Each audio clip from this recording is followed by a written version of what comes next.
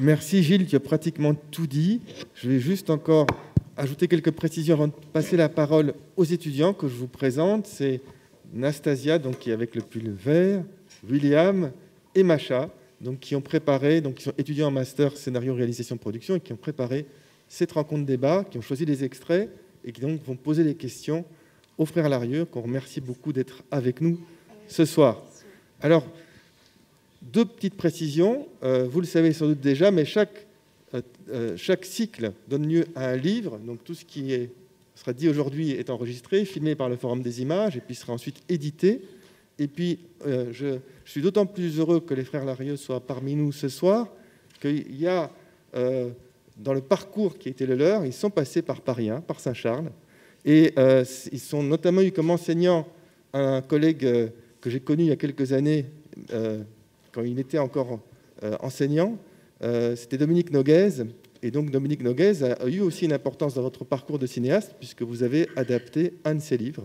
Et donc j'aime beaucoup cette idée de, de rencontres électives voilà, autour de, de la transmission et de la passion du cinéma.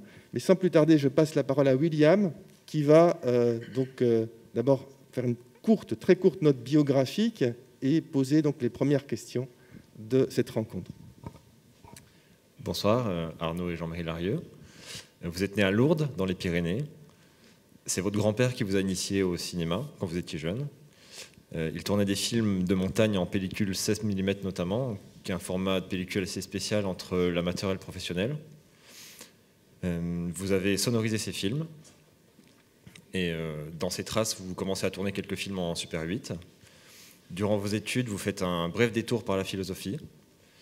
Avant de revenir du côté euh, du cinéma, vous réalisez plusieurs courts-métrages que vous signez séparément, d'abord, et puis votre premier long-métrage, fin d'été, que vous réalisez à deux.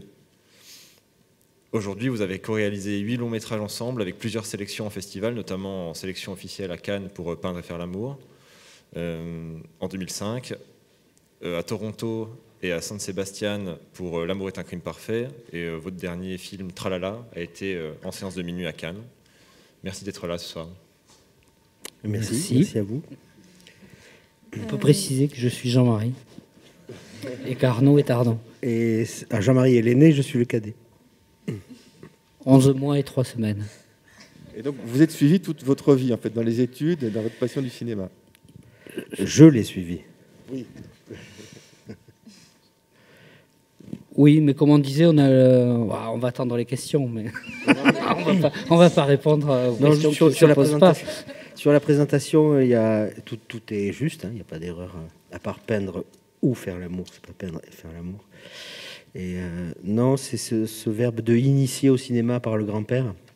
En réalité, c'était beaucoup plus euh, innocent et c'était un pur amateur, donc même lui ne pensait pas qu'un jour on ferait des films. Oui, tout à fait c'est le pur amateur, c'est-à-dire la notion de carrière, de métier, de n'est même pas à un endroit dans le cerveau.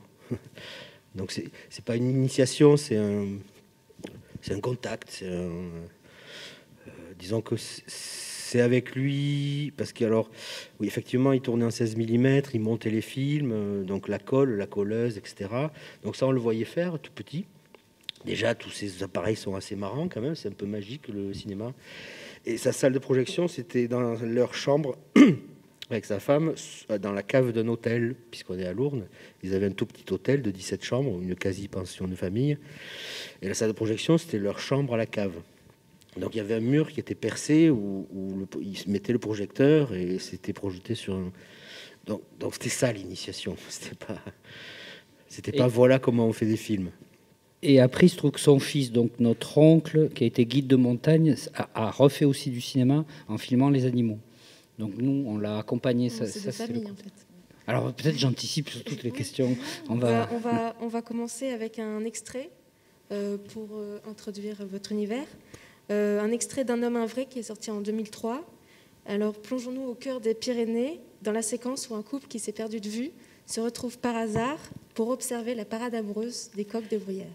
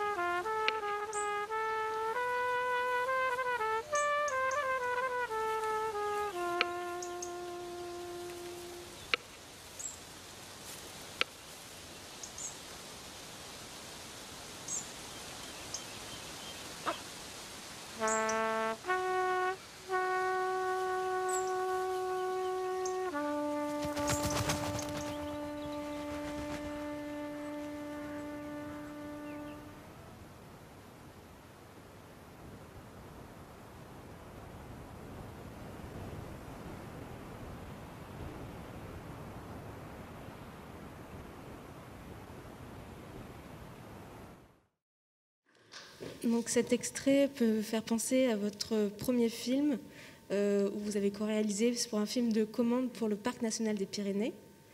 Euh, mais dans le livre d'entretien avec Quentin Mével, vous dites, euh, je cite, Même après le film du parc, on ne se disait pas encore qu'on allait réaliser ensemble.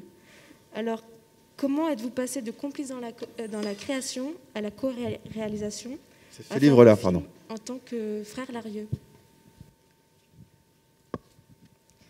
Euh, le, parc national, le, film de commande du parc, il a vraiment été réalisé à deux. C'est vraiment même le tout premier, vraiment complètement fait à deux. Euh,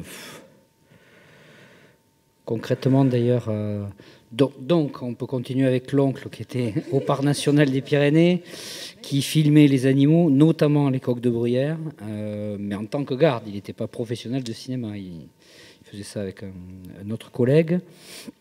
Du coup, on s'est retrouvé à, on nous a, ce qui était tout à leur honneur quand même, puisqu'on avait 25-26 ans, et ils nous ont commandé le, film peu qui devait présenter le parc, qui devait durer 50 minutes, euh, alors que quasi, c'était combien 20 ans avant, euh, comme oui, quasi comme enfant, on figurait déjà dans le précédent film qu'avait réalisé notre grand-père et l'oncle pour le parc national.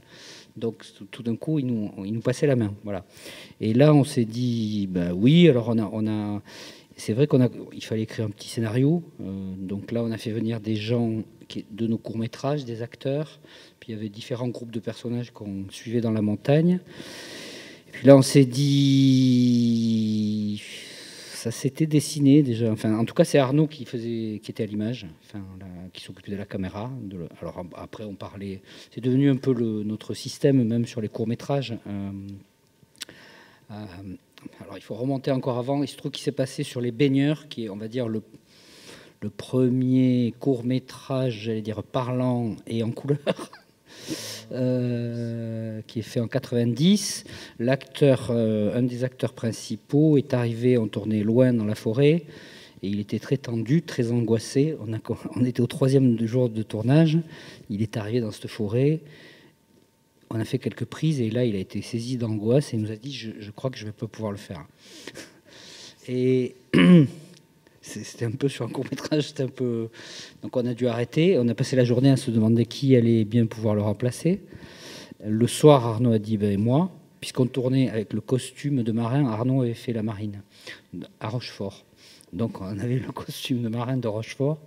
C'était le, costume. Et puis Arnaud a tellement pas dormi la nuit qui a suivi sa décision que le lendemain matin, du coup, on s'est dit c'est moi qui le fais.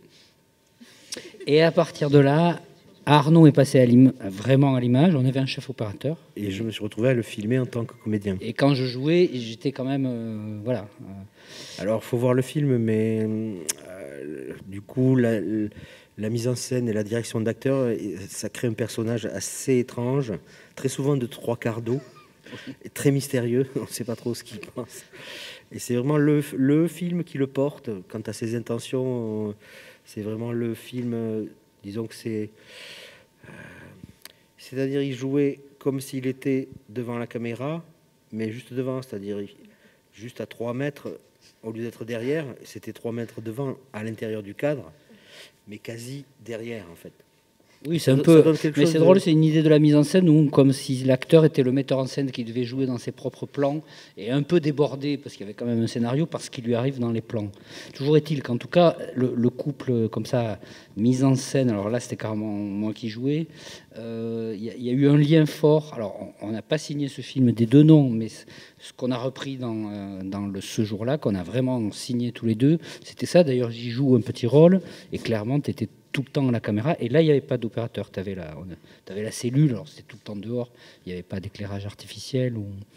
Et ça, c'est vrai qu'il y a eu ce film-là. J'ai essayé dans l'ordre. Et après, on a commencé à écrire euh, fin d'été. Ouais, il se trouve. Alors, c'est la biographie, toujours, souvent. Hein. On a beau faire toutes les études qu'on veut, c'est la vie qui décide. Mais on a passé un été assez extraordinaire, l'été 93, chacun de son côté d'ailleurs, séparément, mais où on s'est retrouvé euh, au 15 août, dans cet endroit où on, allait tous les étés depuis qu'on est enfant, là, dans l'Aude, là où est tourné 21 nuits avec Paty, là où est tourné Les Baigneurs, là où est tourné Fin d'été. Et Et le fait d'avoir vécu tous les deux cet, cet été-là, de se retrouver à cet endroit, on est vraiment parti à deux sur une écriture juste après, d'ailleurs, dès septembre. On est parti sur une écriture à deux à partir de cet, été-là. D'ailleurs, le premier scénario s'appelait L'été, et il faisait 220 pages et personne n'en a voulu. Euh, et, on a passé, puisqu'on l'a tourné, on a commencé à l'écrire fin 93, et quand on a finalement tourné, c'était euh, trois ans après, en 96. Donc voilà, entre, écrire le premier long, tenter de le faire financer. Et là, c'était écrit à deux. Alors selon une méthode d'ailleurs qui, qu'au final maintenant on arrive à peu près à suivre, mais qu'au début qui nous a joué pas mal de tours parce qu'on était quand même, euh, on avait une trame, chacun écrivait un peu de, ce côté, de son côté, et c'était pas du copier-coller, mais enfin on, on négociait comme ça les passages et, c'était un peu peut-être euh, très foisonnant, euh, trop foisonnant. Et ce qui fait qu'au final, quand on a dû tourner, qu'il y avait quasiment plus de moyens, et on a fait une sorte de souscription, en fait, on avait un producteur de court métrage qui s'est endetté de l'équivalent de la somme euh, qu'on avait obtenue, c'est-à-dire 70 000 francs, ce qui est 12 000 euros. Et, on est parti tourner comme ça, euh, avec un scénario extrêmement raccourci qui faisait plus que 45 pages, qui, était du coup très dense. Euh, et qui s'appelait Fin d'été au lieu de l'été. La, comment dire, la dramaturgie des financements a, dramatisé énormément aussi le scénario, mais c'est souvent comme ça aussi en réalité. Euh, on, reprochait au scénario de l'été, les financiers disaient mais il ne s'y passe rien, et c'était un peu ça l'idée en réalité. C'était un état de un état d'été assez prolongé avec des, micros histoires, mais qui se dissolvaient un peu dans l'été chaque fois. Nous, on trouvait ça assez beau, mais non. Euh, l'argent demande de la dramatisation, et ça a été le cas. Du, coup, ça s'appelle Fin d'été, et l'histoire est beaucoup plus sombre que ce, que l'été. Et du coup, comment comment on, comment on écrit à deux? Euh, Est-ce que votre méthode de travail, du coup, elle a évolué depuis ce premier film? Bah oui. Après, il faut faire film par film, j'allais dire ce qui va. Enfin, euh, mais. mais, mais euh, Comment vous correspondez Disons que... par exemple, il y a eu Fin d'été écrit à deux. Après, Arnaud, il se trouve qu'il est parti un an à la Villa Médicis. Du coup, moi, j'ai écrit seul La Brèche de Roland. Donc, c'était seul. Et quand Arnaud est revenu, on a réalisé à deux. Mais le, scénario, euh, je l'avais écrit seul.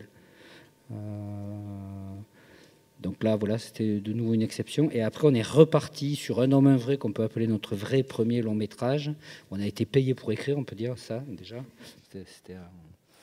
Et là, là, là, là, on a commencé, on l'a fait sur pas mal de films. C'est-à-dire, on était tout le temps dans la même pièce, on écrivait ensemble. Voilà. Plutôt moi à l'ordinateur, Arnaud parle. Mais, mais là, c'était, on lâchait pas, on se lâchait pas. On écrivait toutes les séquences étaient écrites ensemble.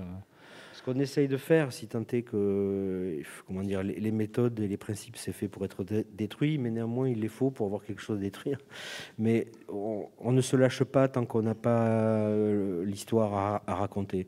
Donc ça, ça peut prendre euh, un mois, deux mois. De, appelons ça des conversations, hein, des, voilà, des, va-et-vient, euh, des thématiques, des, idées de personnages, des, des genres. Des, ça, on s'en parle longtemps, longtemps normalement, en émerge une histoire. C'est jamais tout à fait l'histoire qui sera au final, mais une histoire sur laquelle euh, on peut travailler. Après, on a de temps en temps, on a besoin d'écrire chacun. Euh, de temps en temps, il faut s'isoler et aller chercher un peu la matière. Chacun doit aller chercher sa matière. Tiens, comment comment les personnages vont parler un peu. Euh, ça, il faut se libérer un peu chacun. Faut, faut pas se frustrer. le but de travailler à deux, c'est de ne pas se frustrer. Après, c'est vrai qu'on a appris à se connaître, euh, ça, on ne savait pas du tout, mais quels étaient un peu les. Surtout au début, nous, on avait énormément de mal avec ce qu'on appelle les synopsis, c'est-à-dire l'histoire qui se raconte sans encore la dialoguer. Par exemple, fin d'été, on est parti dans le scénario direct. Euh, la brèche de Roland, euh, un homme vrai aussi, on avait un principe, cinq ans, ils se rencontrent, cinq ans après ils se séparent, et cinq ans après ils se retrouvent. Alors on connaissait les décors, tout ça, mais on n'avait pas de vrai, vrai, vrai synopsis. Et pour le coup, Arnaud est reparti encore quelque part, ou je ne sais pas où. Enfin, l'année où il est reparti, moi j'ai écrit un synopsis qui était Peindre ou faire l'amour. Parce qu'il était écrit assez tôt. Ça, c'était un vrai synopsis, une, histoire. Ouais, c'était même avant un homme un vrai en réalité. Voilà, ouais. Et aussi un moment. Ah, pardon. Et, et là, pour le coup, on a réécrit ensemble, dialogué, et on s'est aperçu un peu comme ça dans le partage. Euh, moi, j'étais un peu plus récit, enfin attentif à ça, ou un peu obsédé par ça. Enfin, et, et, Arnaud, pour le coup, ça permettait aussi, mais c'est ça, travailler à deux. Il, il, pouvait lâcher un peu ça et être plus fulgurant dans les dialogues. Si on veut faire un peu, un, comme ça, se partager un peu les tâches, ça se fait ensemble, mais les mais... deux attentions sont un peu longtemps se sont un peu partagés. Est-ce que vous avez un regard critique sur le travail l'un de l'autre euh, comment... Ah, terrible. Terrible. Et comment ça se passe alors? Il y a des dialogues en permanence sur ce que vous faites l'un et l'autre au, au, niveau du scénario pour, euh... Oui, mais ça, alors ça, comme euh, entre deux personnes normales, des fois il faut du temps pour que l'autre comprenne, mais on commence à avoir nos tactiques. Il euh, faut, faut, laisser reposer. Faut, quand on envoie un texte à 20h, il ne faut pas le lire tout de suite et rappeler à 21h. Il faut passer une nuit, on commence à le savoir. Mais quand on voit les deux premiers courts-métrages, Les Baigneurs et Bernard ou les Apparitions, donc réalisés par chacun, on voit vraiment, on a sous les yeux deux manières de raconter les histoires. C'est très frappant. Et qui ne sont pas les mêmes. Donc, et après, ces deux manières de raconter euh, se rencontrent, je dirais, dans les films ouais. d'après. Ces deux dramaturgies, narrations se, se rencontrent. Euh, ah, c'est des rapports à l'ellipse, c'est des rapports euh, à la matière, à la partie sur le tout, les récits. Il y avait eu un, c'est un texte de Philippe Azouri, un des premiers, quand Fin d'été était sorti, dans Les Inrocks, et on a été, on a été assez scotché parce qu'il il parlait de ça, enfin, des deux cinéastes. Alors, est-ce qu'il était parti d'un cliché? Il s'était dit, ils sont deux, et donc je vais voir dans le film deux. Il y avait une sorte de classicisme, et puis un peintre. Lui, il, a, il en parlait en termes de peinture. Mais c'est vrai qu'après, on s'est dit, parce que toujours nos films ont été difficiles à financer, toujours, toujours, toujours. Et on s'est dit, merde, c'est peut-être parce qu'on est deux. Alors, contrairement, on nous dit toujours, ah, c'est mieux de faire du cinéma à deux, c'est plus facile. Mais on s'est dit, peut-être que les scénarios à deux sont plus. Euh, un peu plus complexe ou peut-être un peu dense ou un peu. Après, à l'inverse, ce qui était pas mal, c'est qu'on on était toujours un peu surpris par la. C'est à la fois un terrain qu'on connaît et on est surpris par l'autre sur un terrain connu. Et ça, on s'est toujours dit que c'était plus fort, que c'était plus. On a travaillé après, au, il y a quelques années, pas très longtemps, avec des, avec des scénaristes profession, de, professionnels. De Macha, justement. Ah bah, c'est ça, vous, vous, avez, vous, avez, fait un appel, non, c'est bien, vous avez fait un appel, à, comme vous l'appelez, un, un, psychanalyste suisse, euh, c'est Antoine Jacot. Et du coup, comment vous, vous avez le rencontré et pourquoi vous l'avez choisi pour confier vos idées, partager et être guidé par lui en question lui, de dramaturgie? Mais justement, avant lui, moi je pensais à Gilles Marchand, qui écrit avec ouais. Dominique Moll, c'est l'autre duo. Et on a démarré l'écriture d'une série. Donc, alors là, c'était deux duos face ouais. à face. Donc ça, ça multipliait par deux le, la question. Et du coup, nous, on les a observés au travail. Ouais. Et, et, euh, et ils ne fonctionnaient pas du tout pareil que nous. Donc euh, la notion de duo, elle se crée euh, entre les personnes qui sont là. Mais et par exemple, on se souvient, c'est rien du tout, mais ça nous a impressionné. Quand on se mettait à quatre à table, ils ouvraient les ordinateurs et, et ils se parlaient et ils écrivaient. Et pour nous, c'était d'une impudeur terrible qui ouais. fasse ça devant nous. C'était et nous on n'a jamais ouvert les ordinateurs. Ouais, c'est la série qui nous a pris pour la première fois. On a osé écrire euh, devant les autres, mais c'était quelque chose que alors que les autres ils avaient l'habitude. Et d'ailleurs Gilles qui est plus scénariste, on va dire, il y avait un côté auteur. Dominique, il lançait des choses et, et, et, et Gilles qui les structurait. Alors que nous, on, on, finalement, on comprenait qu'on partageait une espèce de d'intime ou de non-dit et qu'on écrivait, on, pouvait se parler entre nous, mais le donner à voir et à entendre avant que le scénario ne soit écrit, c'était quelque chose qu'on gardait dans la cuisine. Quoi. Alors pour rebondir sur la question de Macha, pourquoi ce besoin à un moment de faire appel à quelqu'un d'autre, puisque vous avez écrit plusieurs films rien que tous les deux? Non, on a toujours cherché parce que c'est difficile d'écrire, hein, c'est toujours difficile. Donc chaque fois, on a toujours rêvé du scénariste rêvé ou de la scénariste rêvée qui, alors, il y a eu les épisodes série, on a fait quelques rencontres, des gens qui nous ont soutenus, aidés, mais on n'a jamais vraiment trouvé. Ce qu'on a trouvé, c'est le. Moi, j'avais été. Ça s'appelle les ateliers Grand Nord. C'est des gens qui sont aidés, qui ont commencé des scénarios, qui sont. Donc, j'avais été, comment dire, intervenant sur les ateliers Grand Nord. Et là, j'avais rencontré Antoine Jacou, qui fait ça beaucoup, beaucoup. Il écrit aussi du théâtre, il écrit je veux dire, il a son activité d'écriture pour lui, et puis il est, et il est, lui, se définit comme un dramaturge, voilà. Et là, quand je l'avais vu lire les scénarios des autres, je m'étais dit, ce serait bien pour nous. Et à l'époque, on adaptait Jean en Suisse, et comme lui, il est suisse, on s'était dit, ça va faire coup double, il connaît la Suisse. et donc, on avait un scénario qu'on n'avait pas réussi à financer, et on a retravaillé avec lui. Et là, très clairement, voilà, il prend les premières lignes, et, et en fait, il n'écrit pas, mais il ne fait qu'une lecture de, on va dire que dans chaque page et chaque scène, il y a des promesses que lui détecte, et qu'une fois que ces promesses sont faites, euh, ben, il va falloir les tenir, les et les résoudre. Et, alors, en même temps, lui, il est dans une dramaturgie assez, on va dire, classique. Mais, enfin, c'est un peu comme la météo. On a beau dire, euh, la dramaturgie classique, on peut difficilement s'en sortir, ou en tout cas, lui, pointer les choses auxquelles on devait répondre. Et après, on y répond à notre manière. Alors, c'est là où ça, ça nous va assez. C'est pour ça qu'on l'appelait plutôt un, un, psychanalyste. Il n'est pas du tout psychanalyste, mais, mais, mais, il y avait un côté, il écoute ce qu'on a écrit et il nous dit voilà ce que vous racontez. Mais alors, mais alors il, faut, il va falloir que vous alliez au Qui va d'accoucher en quelque sorte. Voilà. Ouais, un maïoticien, si on peut dire. Et est-ce que c'est la même méthode pour vous, pour, euh, quand vous faites adaptation d'un livre, comme vous avez fait pour le film Amour est un crime parfait, ou pour. Euh, ah, les derniers jours du monde. A... Pour l'instant, on en a eu deux peut-être une troisième, mais... Euh... En tout cas, on a toujours été d'accord. Euh, on nous fait souvent lire des livres. Euh, chaque fois, on était d'accord sur les, les, deux, le Djian et le Nogues, donc euh, les derniers jours du monde et l'amour est un crime parfait. vraiment, on était d'accord. On n'a pas eu à se convaincre l'un l'autre si est-ce que ce livre nous plaît ou pas. Donc on les lit séparément. Ça oblige, on se met pas dans la même pièce pour lire les, livres ensemble. Donc chaque fois, ça, ça a été... Et le géant s'est fait comme ça, d'ailleurs. On était en train d'écrire autre chose. Ça devenait un peu compliqué. On, nous envoie le livre. Et on se rappelle deux jours après. On, on, trouve ça très bien. Donc, alors après, on croit toujours que ça va changer complètement la méthode. Parce qu'il y a une histoire. Parce qu'on se dit, ce, ce, premier moment de l'histoire, eh ben, il existe déjà. Donc, en général, ça donne une première version un peu trop près du roman. En général, la voix off traîne par-ci, par-là. Et en général c'est pas terrible. Et, il faut donc à un moment donné le, roman doit, doit aussi un peu mourir pour mieux renaître dans, un vrai scénario. Donc le travail là, avec Antoine Jacou comme c'est sur le géant. Ça a plutôt été le Nogues est tellement énorme c'est à dire c'est un sort de roman total. Donc il fallait tracer un chemin là dedans voilà.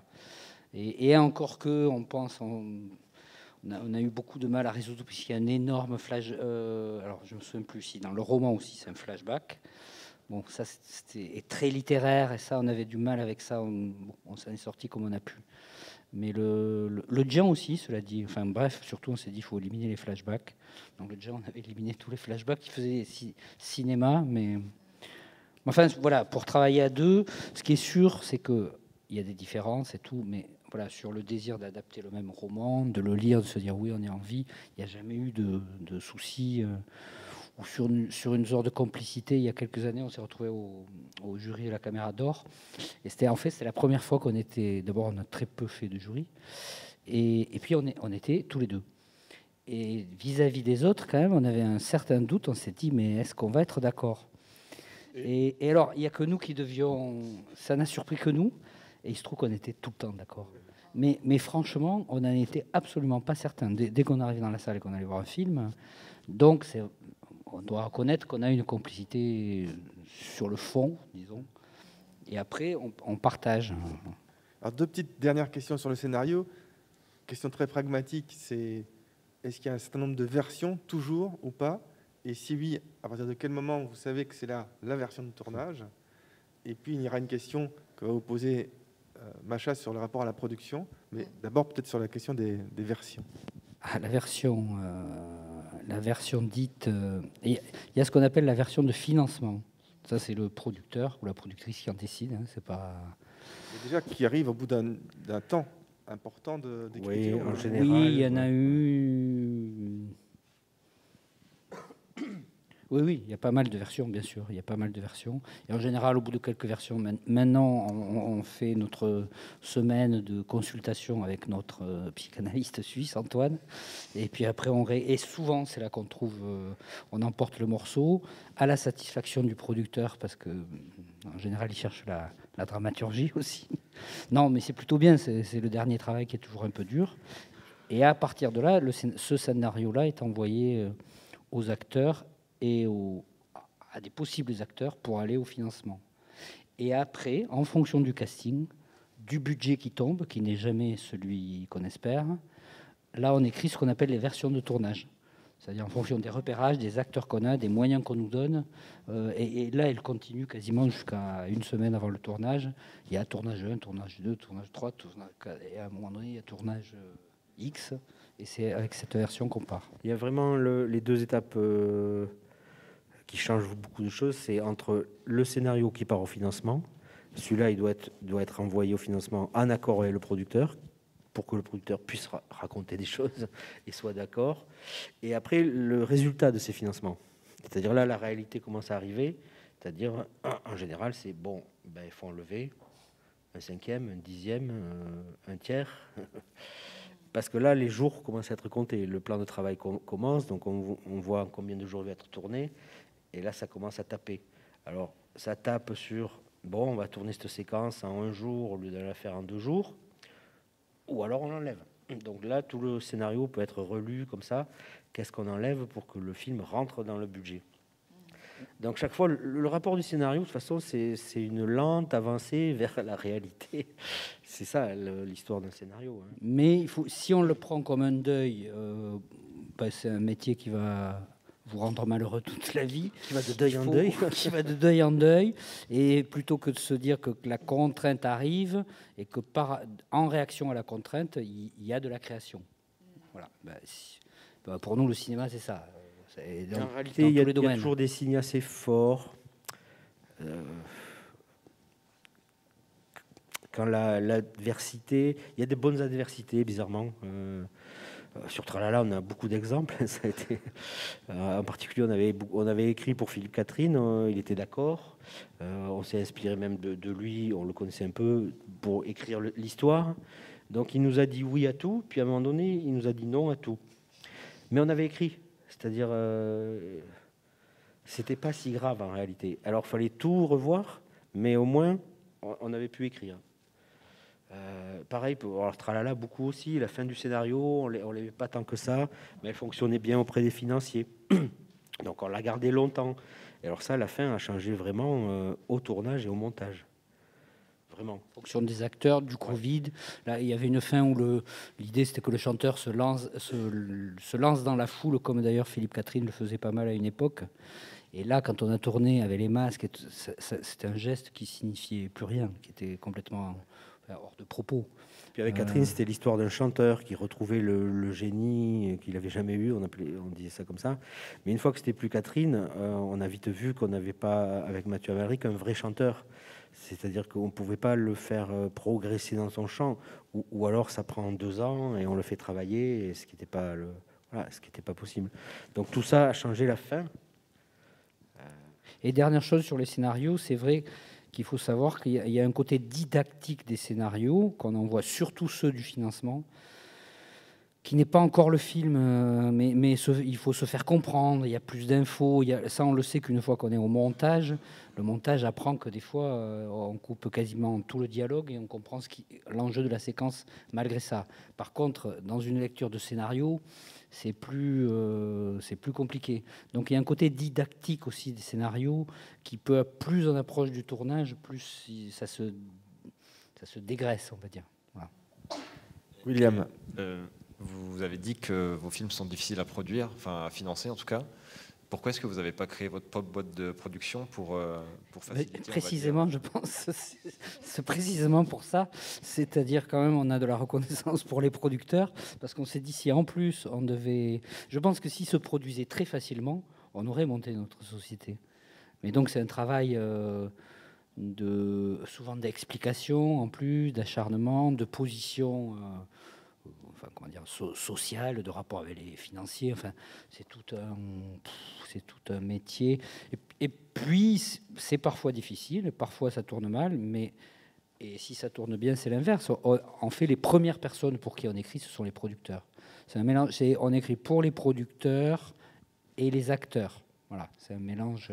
C'est eux qui, vont permettre, euh, que, le film devienne réel et se finance et soit incarné.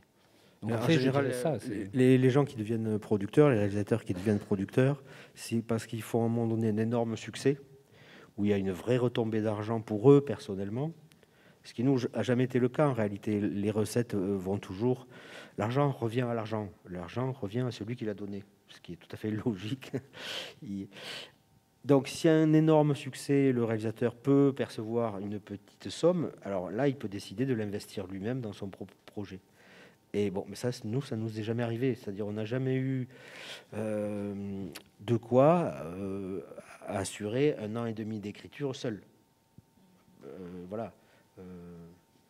Parce que les recettes n'étaient jamais suffisantes, même si tous nos films fonctionnent plutôt bien, mais les producteurs sont contents, mais il n'y en a pas suffisamment pour nous, pour qu'on gagne un an, deux ans d'indépendance, où là, on pourrait créer une société et dire euh, qu'est-ce qu'on amène, parce que être producteur, c'est amener quelque chose. Hein.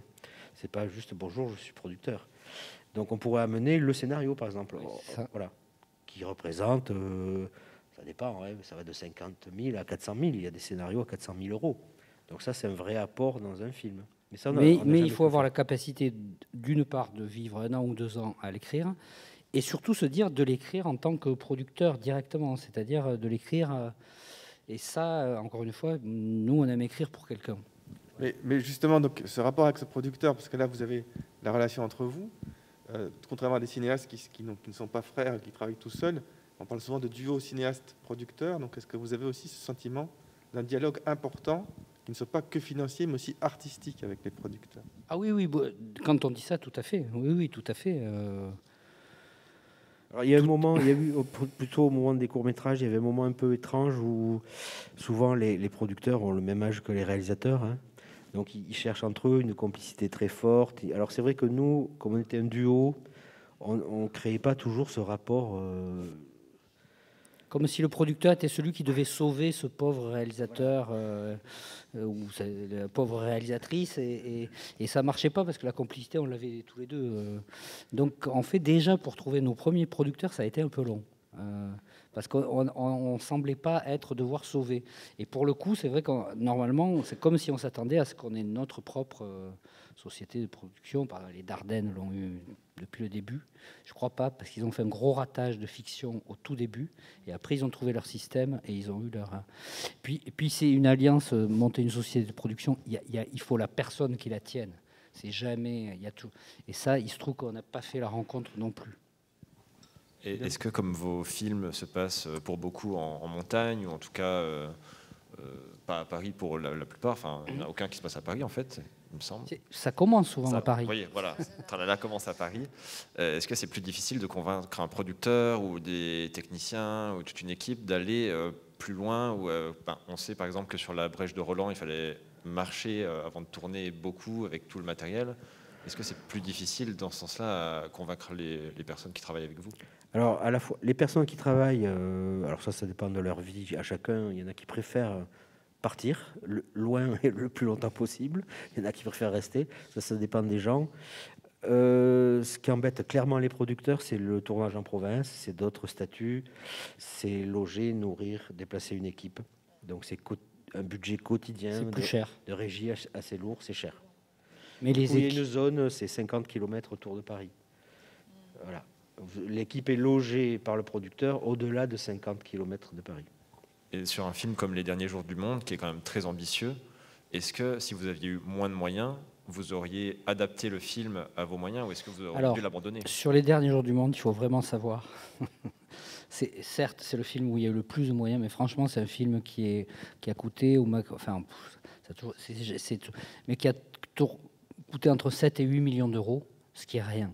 Ce qui est rien. C'est-à-dire, il y a des comédies qui coûtent 15 millions, 12 mi- ou 10 millions, euh, vraiment par rapport au film. Donc, à l'inverse, dans les premiers budgets, ça coûtait 11, 12.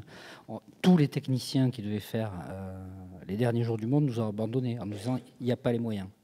Il n'y a pas les moyens. Et donc, on s'est retrouvé avec les techniciens qui avaient fait le voyage aux Pyrénées, la régisseuse avait fait Garel, voilà, comme fait d'armes, c'était Garel. On aime beaucoup Garel, mais comme diriger, se retrouver à faire exploser une voiture sur la place du Capitole avec 300 figurants, ça, ça, c'était la régisseuse qui s'occupait de ça, et, ça a été très beau parce que parce tout le monde n'avait jamais fait un film pareil. Et, au lieu d'avoir des gens mécontents parce qu'il n'y avait pas les moyens de faire euh, la manière de faire traditionnelle, parce qu'il n'y avait pas les moyens, on a eu des gens qui juste euh, inventaient le film à gros moyens. Voilà. Mais, franchement, c'est déjà beaucoup rusé pour. Euh, on a énormément trouvé des solutions. On en a parlé euh, sur l'embouteillage à Biarritz, euh, que les voitures, il y, ait 10 mètres d'espace entre elles, puisque si à un kilomètre, on ne voit pas qu'elles sont pas pare-choc contre pare-choc. Enfin, c'est trouver tout le temps des solutions euh, d'économie. Alors ça, on est comme ça. D'ailleurs, c'est un peu...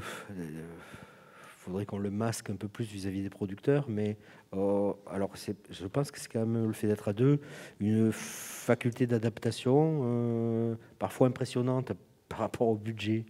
Euh, même Tralala, quand on nous a dit, ben, Tralala, ce sera à 2,5 millions. Et du coup, on reconçoit tout le film comme ça.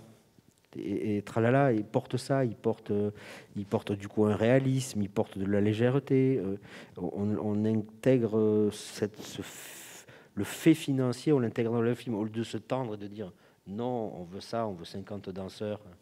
Mais parfois, on va trop loin. Et je pense que quelqu'un de seul, et on en connaît des, réalisateurs, réalisatrices quand ils sont seuls, et eh ben, quand ils se mettent à bouder et ils répondent plus au producteur, ça marche aussi. C'est-à-dire le producteur revient, euh, ça va, bon, on va peut-être rallonger un peu.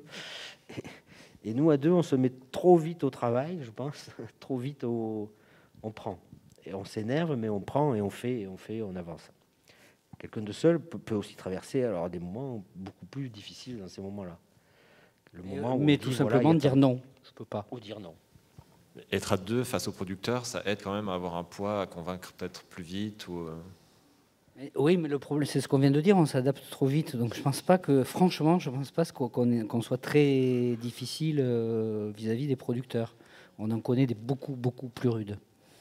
Alors vous l'avez déjà dit aussi, mais peut-être approfondir, on peut approfondir ce point, c'est réaliser, c'est aussi penser en termes de production, c'est-à-dire à toutes les étapes, et cette interaction entre le ah bah là, un peu, je pense que ça se dessine. Là, on le disait pour le scénario, mais c'est toujours.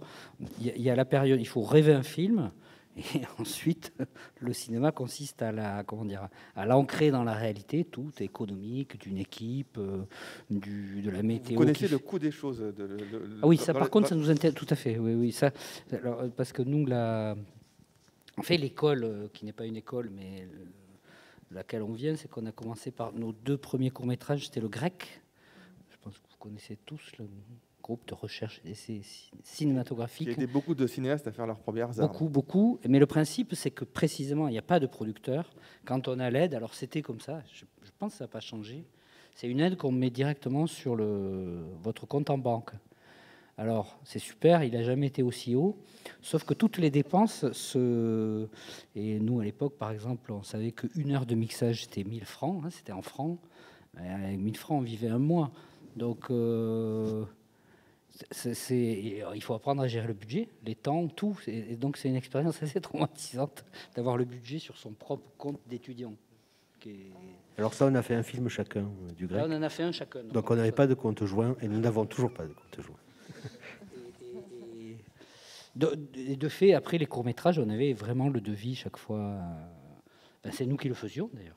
C'est nous qui le faisions. Parce que les arbitrages de production ont des incidences sur l'artistique aussi. Donc, euh, vous, devez faire des choix à ce moment sur la durée du tournage, sur la composition de l'équipe. Voilà, le nombre de jours. Euh, en plus, il y a tout un tas de critères. Euh, il ne faut, faut, pas tomber dans le sens inverse, mais, mais, mais des séquences si les acteurs sont un peu payés cher, mais quand il y a des séquences où un acteur qui est un peu payé cher, il est en arrière-plan, il le faut, mais c'est que de la présence. Il y a toute une complexité comme ça de, à, gérer. Plein de choses coûtent cher, on s'en aperçoit pas. Euh, par exemple, un, film où il y a juste 5, 6, 7 acteurs principaux, c'est cher. C'est très cher. Parce qu'ils sont là tous les jours. Euh, tout est très cher. Dès qu'il y a de la figuration, c'est pas juste euh, qu'il faut payer les figurants. Déjà, c'est relativement cher. Mais, il faut le temps de les faire jouer, le temps de les faire jouer avec des acteurs qui jouent aussi devant. Donc, ou, même un, coup de feu. on, peut toujours critiquer euh, les coups de feu dans les films américains, mais c'est aussi très très très cher parce que dès qu'il y a un coup de feu avec une tache de sang, c'est le costume qui est bousillé. Donc, quand on fait trois prises, ça veut dire que tous les costumes sont, par exemple, quelqu'un qui prend du sang sur une jolie robe ou un joli costume, ça veut dire que déjà il est en trois exemplaires pour dire qu'il y a une complexité des coûts des choses euh, euh, bah, qu'on apprend, avec lesquelles il faut un peu ruser, et, il y a des choses sur lesquelles il ne faut pas lâcher. Par exemple, un homme vrai, on tenait absolument à aller tourner à Ibiza. Voilà, on avait une directrice de production à l'époque qui nous disait ah, mais on peut aller là dans le sud. Mais nous, c'était par rapport à des, choses qu'on avait vécues, des paysages qu'on voilà, on n'a jamais lâché. On voulait aller à Ibiza. Il y a d'autres choses qui bougent. Alors on va regarder un second extrait du film L'amour est un crime parfait. Donc dans ce film, euh, on suit Marc, qui est euh, professeur de littérature à l'Université de Lausanne et euh, qui collectionne les conquêtes parmi ses étudiantes. Et dans ses cours, il invite ses élèves à sortir des règles classiques d'écriture en s'inspirant notamment des paysages. On va regarder un extrait. Comme l'écrit le japonais Katsuo Kamimura, ce qui marque le plus une personne, ce ne sont pas tant ses expériences passées que les paysages dans lesquels elle a vécu. Bien. Pour commencer, au lieu d'écrire pour la xème fois sur vos drames familiaux et vos tragédies personnelles, inventez donc un paysage et dites-moi, ça c'est ma mère. Inventez un autre paysage et dites-moi, ça c'est mon père. Et s'il vous reste encore un peu de temps, éventuellement, voilà, là c'est mon petit ami ou ma petite amie. Quant à vous-même, rassurez-vous, nous y reviendrons. Vous avez une heure. Alors, dans la continuité euh, sur l'idée de l'exercice que Marc donne à ses élèves, est-ce que c'est ainsi que vous faites vos repérages en cherchant des paysages qui illustrent vos personnages? Euh, ce qui me vient, c'est euh, surtout euh, pour peindre ou faire l'amour, qui était écrit euh, pour se dérouler dans les Pyrénées, dans ce qu'on appelle le Piémont, c'est-à-dire c'est les premières collines, c'est des endroits qu'on connaît très bien. L'histoire est même inspirée de gens qu'on connaît, à qui, cette histoire n'est pas du tout arrivée, mais disons un milieu social, une catégorie de gens qu'on connaît bien, qui ont des maisons dans ces collines. Donc tout a été écrit vraiment pour ces endroits-là. Il y avait beaucoup de séquences d'apéritifs donc on savait où se couchait le soleil, on savait, euh, voilà, la, chaîne elle est, elle est exposée, euh, elle est, elle est euh, est-ouest. Donc le, soleil parcourt et le soir se couche là côté Atlantique et il se lève côté bon. Il se trouve que pour des raisons financières, on se retrouve à aller tourner en Rhône-Alpes. Et là, on a passé un mois à faire tout Rhône-Alpes et justement, on, on cherchait des paysages. Et je la fais courte, mais l'erreur, c'était qu'au lieu de chercher les paysages, il fallait chercher la maison. Et euh, l'endroit où on a trouvé la maison de Père faire l'amour, on était déjà passé, quand on avait en tête des paysages, on avait trouvé ce paysage pas du tout satisfaisant. On était passé, on s'est dit non, on va ailleurs. Et puis, par le hasard de rencontre, on est revenu dans cet endroit pour voir une maison. Et une fois qu'on est rentré dans la maison, alors il faut dire qu'il y avait ce séchoir à noix, c'est-à-dire où, c'est à la fois dedans, dehors, on voit le. Quand on est revenu là, on s'est dit, mais évidemment que c'est là. Donc on avait eu tort de partir à la recherche de paysages, puisque ce film parlait d'une maison, en réalité, c'est la maison qu'il fallait rechercher.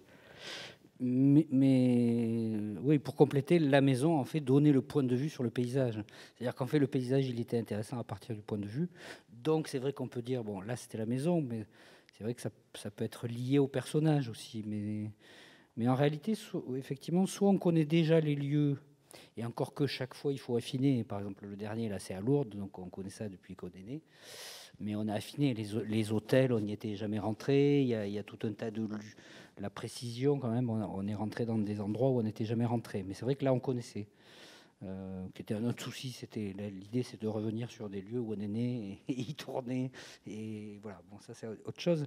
Mais sinon, c'est un travail qui est aussi plus long, et qui est plus coûteux. Mais sinon, on aime beaucoup faire des repérages dans des endroits qu'on qu'on connaît pas. Mais, mais c'est du travail, c'est-à-dire qu'il va falloir parcourir des, des régions, de, et c'est comme un casting, c'est-à-dire il il y a un jour, il y a, y a la rencontre, et ça, et ça c'est super. Alors pourquoi, dans L'amour est un crime parfait, la manière, quand on a trouvé le petit gouffre là, c'est une histoire, bah, il faisait très mauvais, on avait très faim, on a trouvé un seul chalet où on nous faisait à manger, puis on a regardé le paysage, puis on a commencé à parler avec la dame, et la dame nous a dit qu'il y avait des trous dans le coin, et on est parti voir le trou, et c'est comme ça qu'on a trouvé l'endroit. Donc pour, et ça c'est super, enfin, c'est des choses, euh, et c'est un endroit où on sort quand on y a tourné. On avait déjà écrit le scénario. Euh, dans, le personnage, il y avait une histoire de lycanthropie, c'est-à-dire les, hommes possédés par les, loups éventuellement. Et un soir, en rentrant du gouffre sur le tournage, on, voit la silhouette d'un grand chien. On a, demandé c'est quoi ce chien? Il a dit non, c'est un loup. Donc l'endroit, c'était celui-là. Et, on l'avait trouvé parce qu'on avait faim. Enfin bon, c'est anecdotique, mais pour dire que c'est, il faut être dans les lieux, il se passe des choses. euh, on est attentif aux signes, voilà. C'est- être attentif aux signes. C'est comme euh, le, le rencontre avec Mathieu Amalric, euh, avec un bélier, non? C'était pendant le tournage, vous avez juste vu cet animal? Là, on était très fiers. Dans la brèche de Roland, c'est-à-dire, il y, avait un- un- il y a ce bélier là qui est, qui est sur un promontoire, et on avait tout le matériel dans les sacs, et on allait tourner plus loin. Et on a dit, voyons, est-ce qu'on arrive à sortir le matériel, mettre la caméra, faire passer Mathieu, et que le bélier reste là, parce qu'en général, euh, un animal, ben, on a réussi à le faire, et, me- et même le bélier suit de la tête euh, Mathieu, et après il part. Et, ça, pour nous, c'était la, la, la- comment dire, la réussite de l'équipe légère parfaite. En réalité, le bélier gardait son territoire. Je pense qu'on aurait fait un pas vers lui, il nous fonçait dedans. Mais... Donc il n'a pas bougé tant qu'on n'est pas parti. Euh, Quelle que soit l'explication, en tout cas, ça a marché. ouais. Alors j'ai une question sur votre rapport à la montagne. Euh, dans plusieurs de vos films, on voit un duo de grimpeurs. Vous, incar- vous incarnez les frères Ramos euh, dans Un homme, un vrai. Euh, Est-ce que vous, vous parlez aussi dans vos entretiens avec Quentin Mével des grimpeurs à l'esprit nouvelle vague, dont l'approche consiste à partir tard, léger, grimper très vite avec grâce et désinvolture. Est-ce qu'on peut faire un lien entre votre cinéma et votre approche à l'escalade? Alors, c'est vrai que là, c'est un vaste dossier. on va essayer de faire court. Mais sou- souvent, quand on nous demande euh, ce serait qui vos modèles, et effectivement, dans les gens euh, qui pourraient être plus nos héros, au fond, plus que des cinéastes, on pense en particulier à des grimpeurs. De par notre euh, enfance, comme ça, on voyait les grimpeurs, mais en particulier dans les Pyrénées, puisqu'il y a- un vrai duo de, grimpeurs qui s'appellent les frères Ravier, qui sont encore vivants, qui sont quasiment nés, qui ont la quasi la même date de naissance de Godard. Godard, il est de 30 et eux, ils sont de 33. Et ce duo de grimpeurs, frères jumeaux, eux, ils sont frères jumeaux. Neuf enfants, et la mère s'appelait Olympe. C'est ce qui est quand même assez dingue. Et eux se sont mis à grimper adolescents et ils ont à peu près ouvert toutes les voies d'escalade euh, des Pyrénées, mais en, amateur. Ils ne sont pas guides, ils s'occupaient de pièces pour les, à Bordeaux. Ils ne partaient que le week-end en voiture, ils repéraient les voies. Et ils n'ont fait que des premières, euh, assez peu, sans aucun entraînement. Et l'idée, c'était d'ouvrir, d'explorer en fait. Donc à 20 ans, comme ils étaient très très forts, mais avec un matériel, euh, à peine du, matériel. Et en plus, ils amenaient souvent des amis, moins forts grimpeurs. Et, longtemps, on leur a demandé, mais pourquoi vous vous encombrez? Et ils disaient, ça, ça permet de répartir la tension de la- de l'ascension. Et ça, nous, on s'y retrouve beaucoup dans, cet esprit-là. Souvent, sur nos tournages, il y a des gens qu'on connaît un peu, qui sont là. Et même nous, on se demande, mais pourquoi on tient à ce qu'ils soient là? Et je pense que c'est une manière aussi de d'enlever de la tension. C'est-à-dire, nous, on travaille beaucoup, mais c'est une manière de démythifier ce qui est en train de se passer, de démythifier le cinéma. Oui, puis on- du coup, on s'est toujours méfié euh, parce que euh, quand on tourne un film, le, ma- le matin, si vous laissez faire l'équipe, le, fi- le film se fait Tout seul. tout seul. Il n'y a pas besoin d'être deux ni un. Euh, Enfin, en tout cas, à notre âge, avec les techniciens qu'on a, voilà, des- en des- court métrage, c'est peut-être plus. voyez, les gens professionnels euh, Oui. ont, ont l'impression de savoir où est-ce qu'il faut mettre la caméra, comment il faut éclairer. Et, et c'est pas faux d'ailleurs. Ils, ils savent faire un plan, ils savent, ils ont lu le Mm. scénario. Et, euh, et ça, ça on sait toujours, comment dire, nous, par, on se retire de ça un peu, c'est comme si on se retirait de l'équipe pour, pour insuffler autre chose, mais qu'on ne connaît pas tellement à l'avance. Donc nous, surtout, ce qu'on doit faire, et là c'est bien d'être deux, c'est éduquer les équipes au fait que, que peut-être ils ne comprendront pas ce qu'on est en train de faire, mais pas par souci de travailler en secret, mais parce qu'on cherche autre chose que ce que ferait le cinéma si on n'était pas là, la machine. Euh, voilà, c'est de se mettre un peu à côté de la machine. Et ça, c'est utile d'être à deux. Euh, euh, quand on cherche, l'équipe dit, il discute. Quelqu'un de seul, il dit, il doute. En fait, nous, on doute, on cherche, mais vu de l'extérieur, du coup, c'est Mathieu, souvent, Mathieu Amalric qui en parle, comme ça fait un moment qu'on tourne ensemble. lui, il appelle ça la manière dont on va créer le plan. Parce que quand, même, quand on est en tournage, le boulot, ça consiste à créer des plans. Et il faut le dire parce que les gens en font. Le, vrai cinéma, c'est ça. C'est pas euh, des acteurs qui disent un texte avec un chef opérateur qui les filme et un, réalisateur ou une réalisatrice qui a des avis. Tout le monde a des avis. Mais pour nous, en tout cas, alors c'est un peu à l'ancienne, c'est quoi fabriquer un plan? Un plan, c'est entre moteur et coupé, c'est une image, c'est un bloc d'images son avec des acteurs dans l'espace. Mais ça, ça se fabrique et c'est collectif. C'est-à-dire qu'au moment où le plan se fabrique, il y a le son, il y a l'image, il y a les acteurs, il y a la lumière. Tout, tout, se condense dans un plan. Et en gros, on en fait 10 par jour, à peu près. Justement, il y a un nouvel extrait. Il y a des gens qui en font 140 sur les séries, mais bon, je, mais pour moi, il n'y a pas de plan. Il y a assez peu de plans dans les séries. Et, et le fait de comment ça vient un plan Parce que vraiment, on dirait, voilà, on doit filmer une discussion, ça commence sur la, on met la table, puis on commence à mettre la bouteille, puis on, puis on commence à mettre les acteurs, puis on regarde la nuit. Ça prend un temps. C'est ça qui est passionnant. Et, cette fabrication-là de plans, elle doit pas, enfin, pour nous, elle doit être inspirée. Voilà, si elle n'est pas inspirée, bon, c'est du, formatage, quoi. Justement, on va approfondir ce point, c'est-à-dire le rapport entre les acteurs et le découpage technique et en passant par un extrait. Donc, je vous laisse le présenter.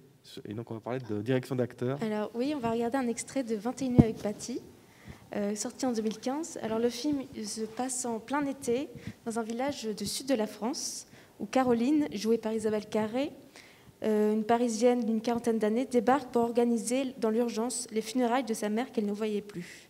Elle est accueillie par Patty, jouée par Karine Viard, qui aime raconter à qui veut bien l'écouter ses aventures amoureuses avec les hommes du coin. L'extrait que nous allons voir se situe au début du film. Caroline fait la connaissance de Patty et de ses histoires. C'est l'extrait numéro 3. Tout le monde a plus de 18 ans.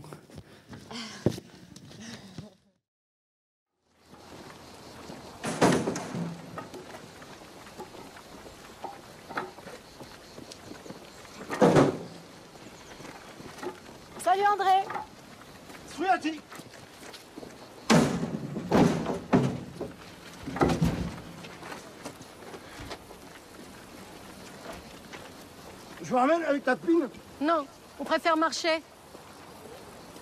C'est bon pour nos fesses.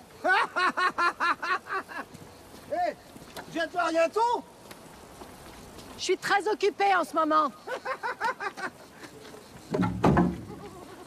Quelle énergie Ah, ça. T'as compris ce qu'il a dit? Un peu, par déduction? C'est un chasseur. J'aime pas les chasseurs, mais putain, quel bon coup. Première fois qu'il m'a parlé, c'était dans un bal. J'ai cru que je comprenais rien à cause de la musique et du bruit de la buvette. Bon, j'étais un peu faite, il hein, faut dire. Je l'ai entraîné à l'écart dans une ruelle plus calme. là, pareil, je comprenais un mot sur dix. Ce qui est sûr, c'est qu'il me faisait un putain d'effet. Il l'a vu, il voit tout. Il m'a pris par la taille. J'ai senti la poigne. Il souriait comme un gamin. Il s'est mis à me caresser les seins. Pas brutal, mais ferme. Il s'est collé à moi. Et là, j'ai senti le machin, la vache. Il avait une sorte de bermuda en toile sans rien dessous, le salaud, tu vois le truc? Là, je me suis dit, euh, toi, tu vas pas me sauter là debout à la va-vite dans cette ruelle sombre. J'ai passé l'âge. Il est allé chez moi avec son camion. Conduit comme un fou, super bien, et comme un dingue. Et au lit, pareil. Il a une belle bite comme j'aime. Une bite de bande dessinée, tu vois? J'imagine. Puis il est content quand il baise. Il maîtrise et en même temps il prend son pied.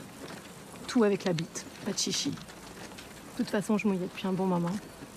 Il a pris le bon rythme, tout de suite, pas besoin de parler. Il assurait à mort, alors qu'il avait picolé, je te dis pas. Il était aux anges, moi je savais plus où j'étais. Je sais pas depuis combien de temps il me la chatte. C'était super bon. Je sentais bien en moi profond. Tout à coup, il s'arrête. Il me retourne d'un geste. Il a une force et il me sodomise. Il a pas demandé, c'était pas la peine, il le savait. Pas de contretemps. Et là, putain, sentir battre ses couilles contre ma chatte, j'ai tout lâché. Lui, pareil. Et crac, on s'est retrouvé par terre. Le lit n'existait plus. Tout pété, en vrac. Moi, pareil.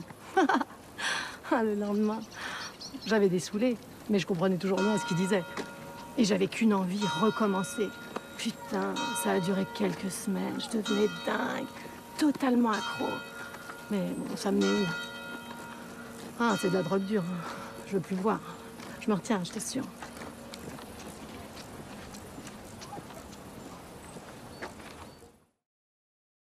Dans cet extrait magnifique, je trouve. Euh, vous avez choisi. Bah oui, je, Ce sont les étudiants qui ont choisi l'extrait, je préciser. Bah, bah, c'est ça, oui, pour ça que, que, que- oui, il faut parler un peu Ça, de. ça me fait juste repenser au producteur tout à l'heure, parce que quand même ce scénario était très compliqué à financer à cause de ces monologues. Et oui. Ah, parce que moi, 18, parce que tout de suite, il a les conditions de moins 18 ans, des choses comme ça. Dans les... Non, non, Dans non. c'est- non, non. C'était le fait qu'il y ait ces monologues aussi crus. Et euh, donc nous, ce qu'il fallait essayer de, d'où le casting d'ailleurs. On s'est dit, il faut quelqu'un qui, qui passe, qui traverse les écrans et où le financier, le producteur en premier lieu avant le public puisse rentrer dans ce, voilà, paf, par l'actrice. Bah, Par ça a été l'actrice. réussite, je pense. En tout cas, vous avez choisi de filmer Karine Viard dans cette séquence-là, euh, en pleine séquence. Euh, comment est-ce que cette décision a été arrivée et comment vous discutez entre vous, en fait, en sachant que vous êtes inspiré de, des acteurs en, en- en moment de leur jeu, euh, avant de placer même la caméra? Est-ce que c'est, est-ce que c'était même quelque chose qui est apparu pendant l'é- l'écriture du scénar ou est-ce que ça se passe vraiment sur le plateau et pourquoi plein séquence c'est- vrai qu'on les appelait des monologues. hein, euh, et il y en avait, je ne sais plus combien il y en a dans le film, ouais, ou trois, euh, et quatre. bon, bref. Mais et, surtout, c'est le dispositif du film. Il y, a, celle qui parle et celle qui écoute. Donc, selon les dispositifs, euh, il pouvait y avoir un chant contre chant, mais c'est vrai, c'est vrai que souvent on s'est retrouvé, on s'est dit c'est plus, c'est plus jubilatoire pour le spectateur même de lui-même faire son chemin entre la parole qu'il entend et de regarder la réaction de, de, de celle qui écoute. Euh, Mais surtout dans le premier, dans le premier, on s'est dit euh, euh, ce qu'il fallait ancrer, c'était autant les récits de Patty que Caroline qui écoute. Mais on, savait qu'il y avait un deuxième récit, pas très longtemps après d'ailleurs, juste après, un deuxième, qui lui est en chant contre chant et assis. Donc on s'est dit, le premier, d'abord en marchant, c'est-à-dire qu'elle découvre Patty un peu comme nous. Patty ne s'impose pas. Démarre elle-même, disons. On a cette impression-là. Et que Caroline, à la fin du plan, euh, s'arrête et se demande euh, ce qui lui est arrivé, ce qu'elle a vu, ce qu'elle a entendu, ce qu'elle a... Donc ça se passe ça en plan séquence. On voulait pas, sachant qu'il y avait le, le même système derrière, en chant contre chant, parce qu'elle serait assise. Et là, assise, on s'est dit, on va faire du chant contre chant. Et on, va, on insistera plus sur l'écoute, d'ailleurs, dans, le- dans le deuxième cas. Là, on pose l'écoute, et, et dans la séquence d'après, on rentre vraiment plus dans l'écoute. Les récits commencent à avoir de l'effet après. Et il n'a pas été tourné en premier d'ailleurs. Euh, C'était le plus difficile quand même, parce que là on roule, on n'a pas assez de rails, donc on roule sur une sorte de. de- de- C'est un steadicam sur un chariot. Ouais, parce qu'on n'avait pas un vrai steadicammer. Donc, enfin bon, donc c'est sur un chariot et, la lumière baisse. Alors si on reprend sur la direction d'acteur, euh, donc on avait des principes comme ça, on, sa- on savait qu'on les tournerait comme ça, mais encore une fois, donc on ne découpe pas avant, on n'arrive pas avec un découpage préétabli. Euh, mais il y avait eu l'histoire des monologues avec Karine. C'est la première fois où on répétait en amont, euh, voilà, deux mois avant. On avait fait un peu des essais pour voir comment elle les lisait.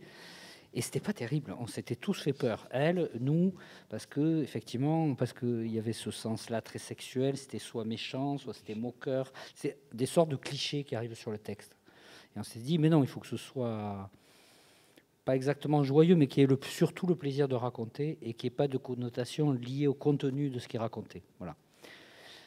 Mais Karine, elle nous avait dit, mais il faut que je connaisse beaucoup mieux le texte. Et donc, euh, quand je le connaîtrai, ça ira.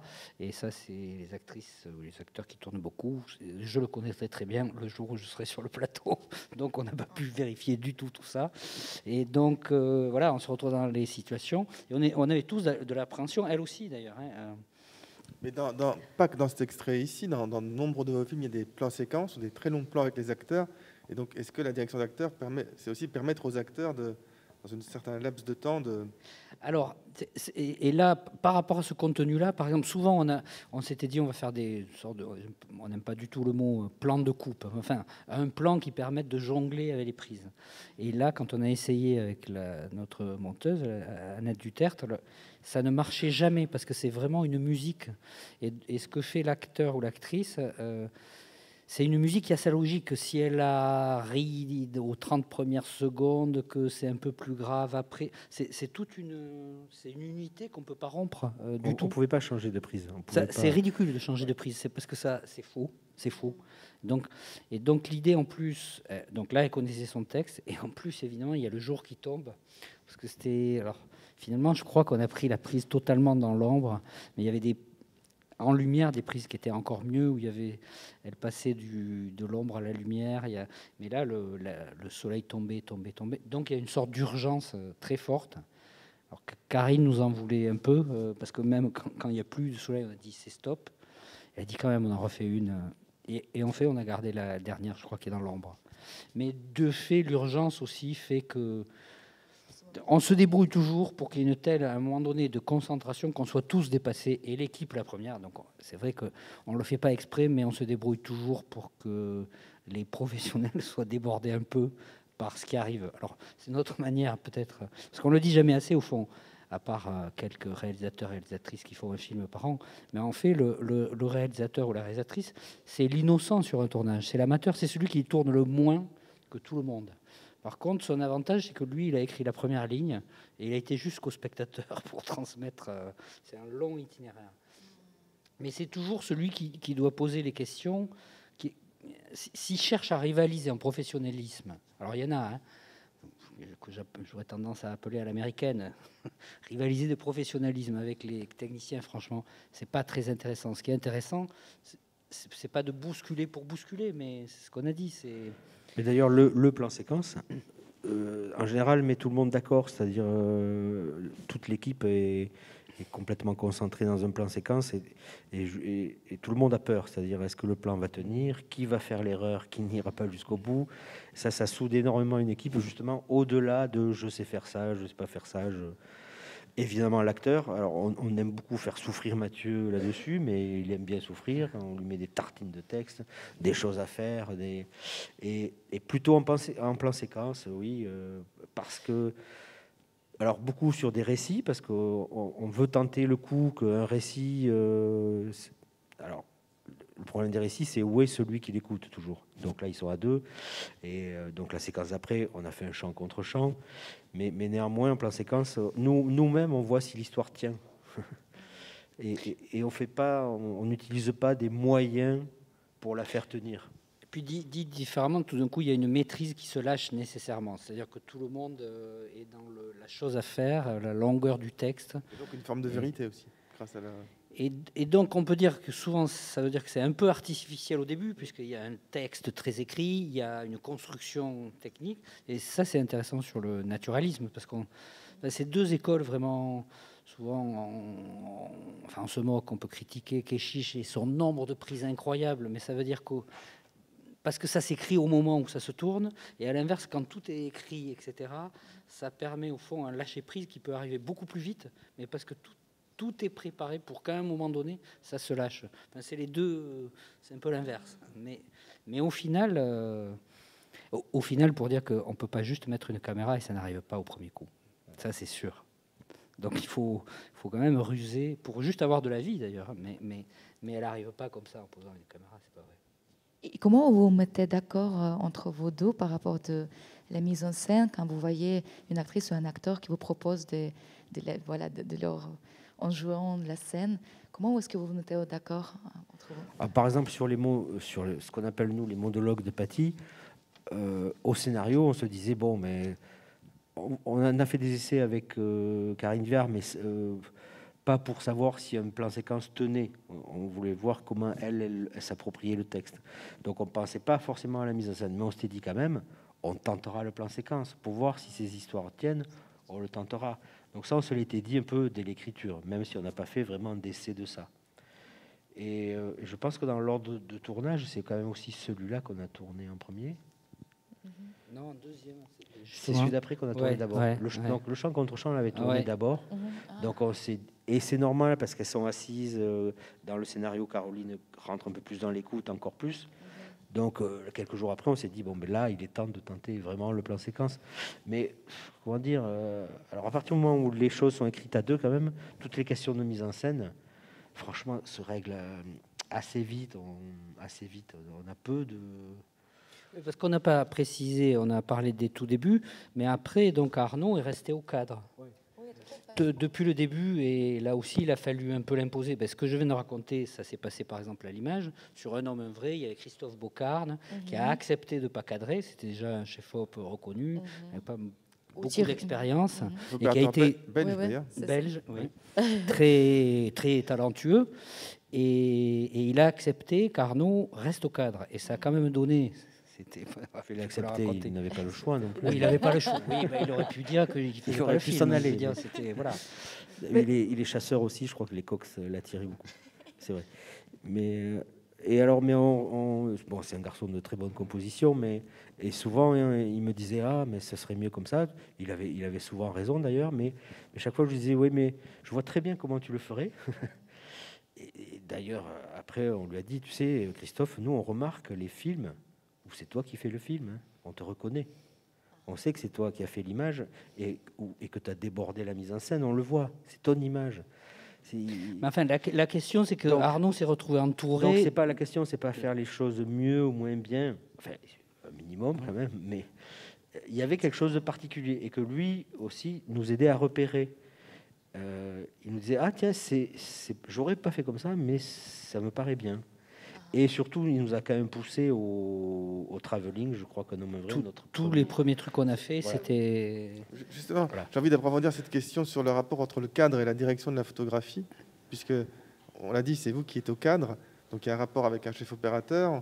On a lu aussi dans les entretiens, dans le livre que je recommande avec, avec Quentin Mével, donc un livre d'entretien sur tout, votre parcours, qu'il euh, y a souvent euh, des décors naturels avec de la lumière artificielle. Donc comment est-ce que ça se décide, ce dialogue avec un chef opérateur, puisque vous nous dites aussi que le découpage technique se fait sur le plateau? Donc par définition, l'équipe n'est pas au courant de la totalité du découpage technique au début de la journée d'un tournage. Donc comment se fait ce dialogue avec, entre un des réalisateurs qui est au cadre, entre votre duo de cinéastes et le directeur de la photographie? La, question sur une journée de tournage comme ça, c'est évidemment le parcours du soleil en extérieur.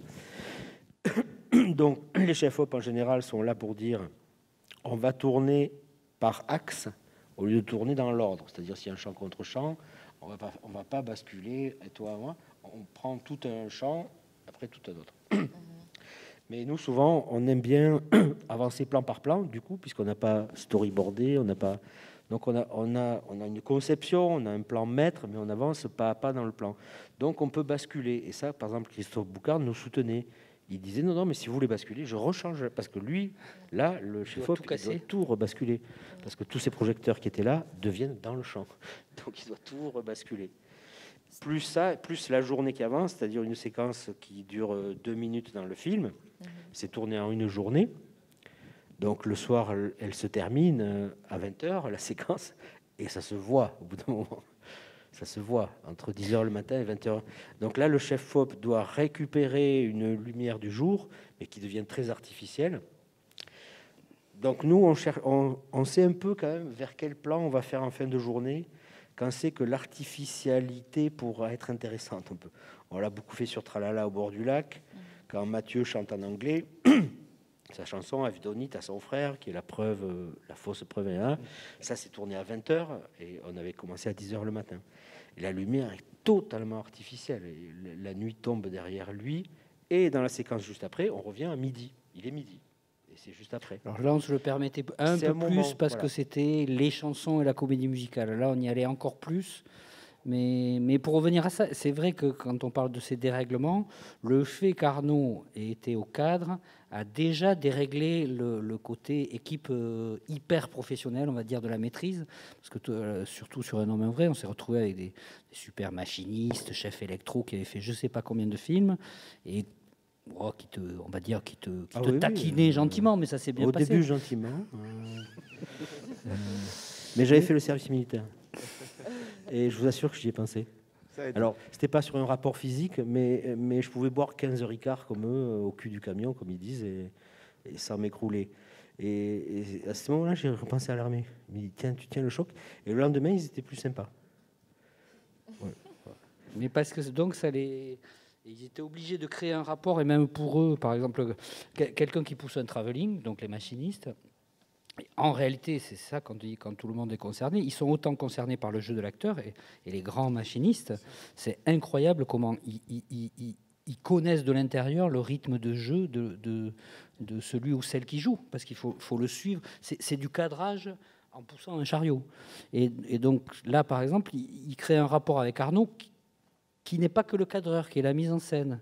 Donc là aussi, ça, instille quelque chose qui est qui est intéressant. Euh, et plus le fait qu'effectivement, avec ces fameuses journées qui s'effondrent à la lumière, le chef opérateur qui, doit tout d'un coup, qui dépasse les, qui se dit mais ça va pas être raccord et, il sort de plus en plus d'éclairage et il lutte contre la lumière qui tombe et au fond euh, c'est pas réaliste mais ça crée un moment euh, ça, crée quand même quelque chose qui et au, fond et ça, on les, ce qu'on préfère c'est ce qu'on appelle entre le chien et loup. Et, comme par hasard chaque fois on se retrouve entre chien et loup. Et, c'est souvent là que les acteurs sont les meilleurs. Et mais euh, alors peut-être que à deux on, les déresponsabilise plus facilement disons. On dit ne t'inquiète pas pour ton image euh, c'est pas la tienne. notre faute à tous les deux. Après, il y a une limite. Par exemple, cette séquence avec Mathieu qui chante en jouant de la guitare on l'a quand même retourné le lendemain. Mm. C'est fini, c'est pas bien. C'est moins bien. C'est tourné, c'est retourné, mais c'est pas bien. Est-ce que vous regardez les rushs après la journée de tournage? Est-ce que ça vous est arrivé? Est-ce que vous avez le temps? Alors, euh, les époques ont changé, puisque maintenant les rushs, euh, enfin on découvre ça à chaque nouveau. Maintenant, pendant, le, pendant les prises même, tout le monde a un petit écran. Euh, Déjà. C'est-à-dire ça Tout le monde a des écrans. Sur les téléphones, même ça circule en Wi-Fi. Ça... Il n'y a même plus le combo où tout le monde se rassemble, euh, ou alors même si les réalisateurs sont un peu à côté. Mais là maintenant, c'est individuel. Bon, Donc on les reçoit et des fois le soir, on vérifie des choses, mais c'est pas du tout, c'est pas du tout la même énergie. Alors par on travaille là, c'est le duo, mais on travaille euh, avec Annette au montage depuis fin d'été. Elle a monté tous nos ah, justement au montage, mais je propose qu'on lance le parce que le temps leur tourne malheureusement, donc on va passer le quatrième et dernier extrait. Donc je sais pas lequel d'entre vous le, propose, le présente, pardon. Ah si, si c'est moi, c'est moi. Euh, oui, nous, nous, nous, nous, allons, bah voilà, on revient sur le sur le film Un homme, oreille. Cette fois-ci, au début du film, lorsque Boris, un personnage principal, euh, un cinéaste débutant, rencontre Marilyn, une jeune cadre, à une soirée parisienne. Numéro 4, s'il vous plaît. Alors, vous connaissez Marilyn depuis... Ce matin.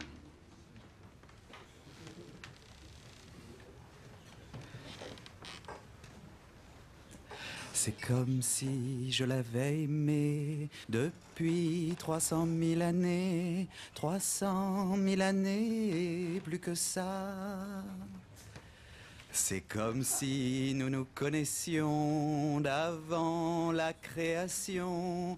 300 000 années ne suffiraient pas à la regarder danser sur tous les toits du monde, avec cet air qu'elle a d'une onde, agile et vagabonde. Oh oui, pour moi, elle est une onde. C'est comme si j'entendais ta voix quand je suis à Paris et que tu murmures en Andalousie.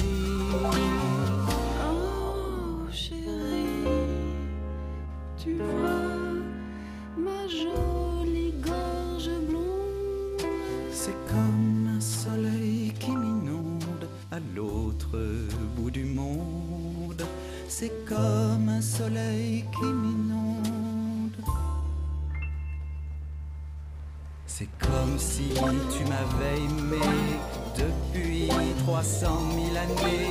300 000 années ne suffiraient pas. 300 000 années ne suffiraient pas. 300 000 années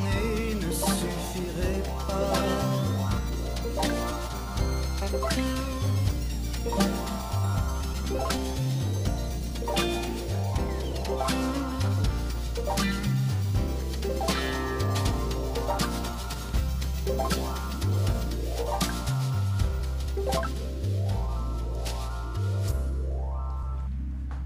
que c'est?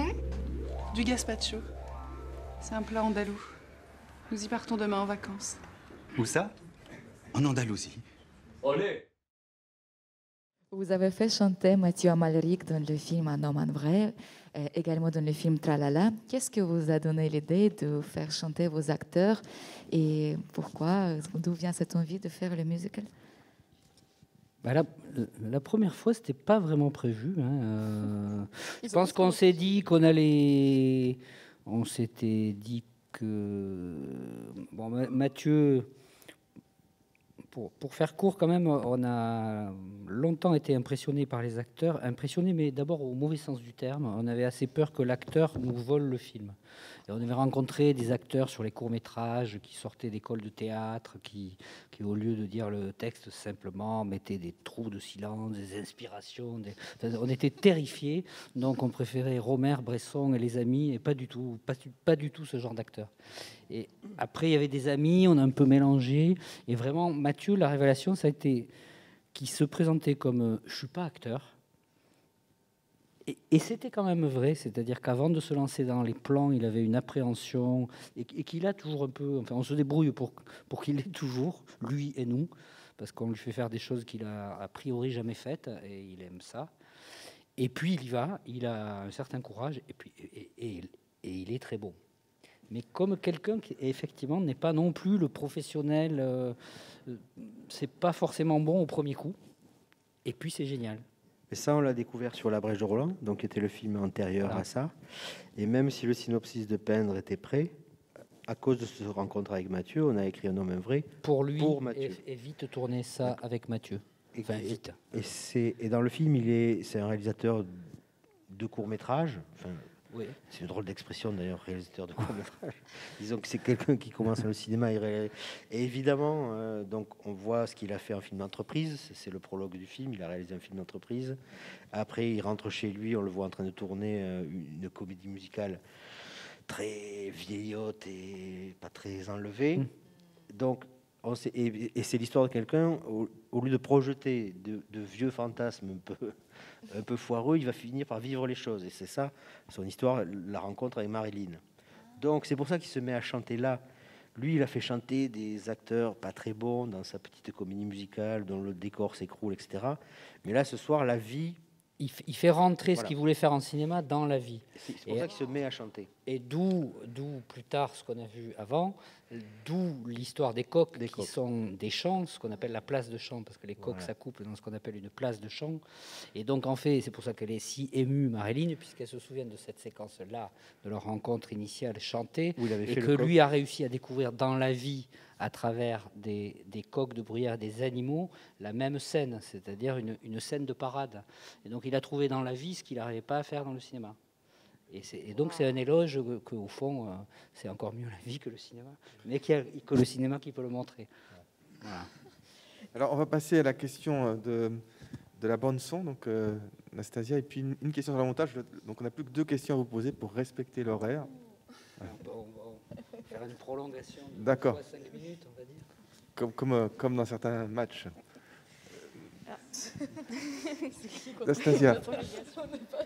Euh, alors, vous portez une attention particulière à la bande sonore de vos films. Vous avez commencé en sonorisant les films de votre grand-père, puis vous avez fait des films plus sonores que parlants, Et dans vos entretiens avec Quentin Mével, encore une fois, vous parlez de votre exigence au mixage son de ne pas faire n'importe quoi avec les chants des oiseaux et les sons de la montagne. Qu'est-ce que c'est faire n'importe quoi avec ces sons si naturels? On a évolué en plus, mais. mais... Si, enfin, c'est pas faire n'importe quoi avec les sensations.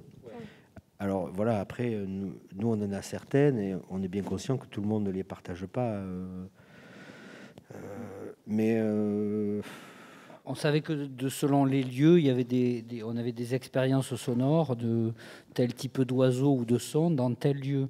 Et là aussi, il pouvait y avoir un peu des clichés comme ça dans le film standard. euh, c'est la nuit, boum boum boum, on balance du hibou, boum boum boum.